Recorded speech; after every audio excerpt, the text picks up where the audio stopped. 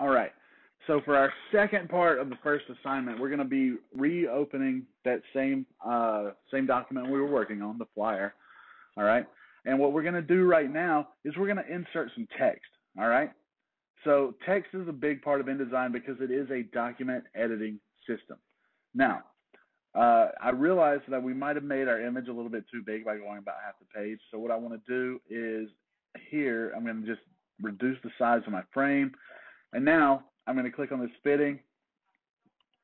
Uh, I'm going to move my image up in it, just clicking on that little circle and moving it up.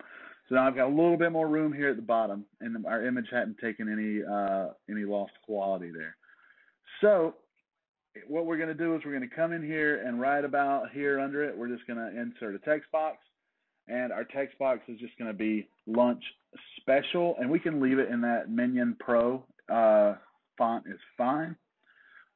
but we do want to up the size of the font. So right here, while you have text selected, you'll notice that this bar changes depending on what you have selected. So while I have my text selected, I'm just going to move my font up. Uh, and I'm going to go up to let's see, probably around 100, uh, 96.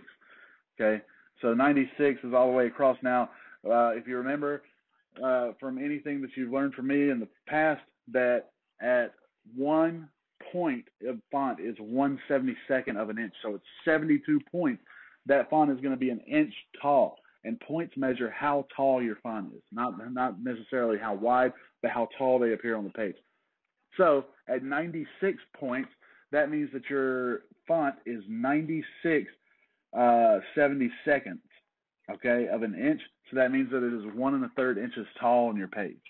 Now, now that you have lunch special in, what we're going to do is we're going to add in a little bit uh, of flare underneath because flare is a great thing in InDesign. Uh, we're going to hold shift and make a line with the line tool. We just picked that up right there. So with the line tool, you're just going to hold down shift and go a straight line straight across. And now we're going to show you, I'm going to show you a little bit about how you can edit your lines. So look, right here, if I hold down W on my keyboard, this is what it looks like. It's not too special looking uh, with just this one line. I'm going to bring it down just a hair so there's a little bit of space. Uh, but this line is just, it's a little bit boring. So let's go ahead and add some fun to it.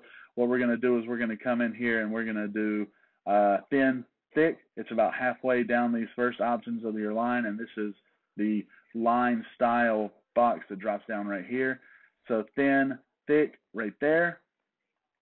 Okay, if I zoom in, uh, you can see that it has not done that much changing. We're going to up our line size to, uh, let's go seven point on the line.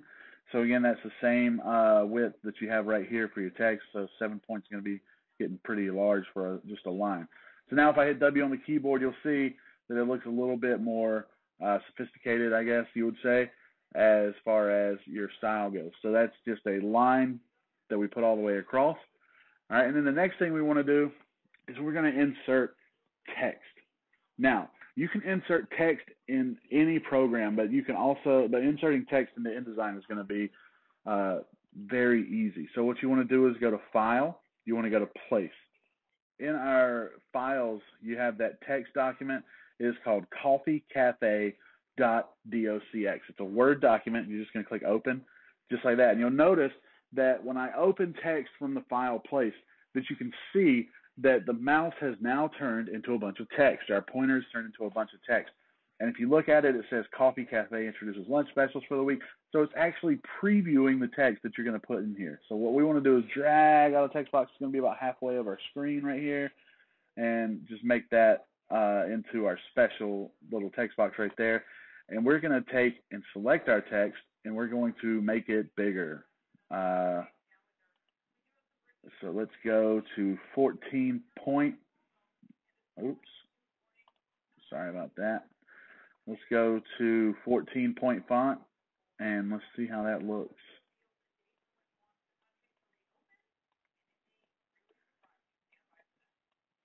All right. So uh, you'll notice now that we have a, a, large area that has that has text in it. So if I hit W on the keyboard to preview that, you'll see that we have text introduced into our flyer. So that's all we're going to do for this segment. Uh, what you're going to do right now is you're going to come up to File, you're going to go to Save As, and we're going to rename this because we're changing where what we're doing here, and we're going to Flyer Two with our last name. So all you got to do is change the one to the two and click Save. That way you keep your files separate, and if you ever mess up, you can go back. All right, guys. Great job.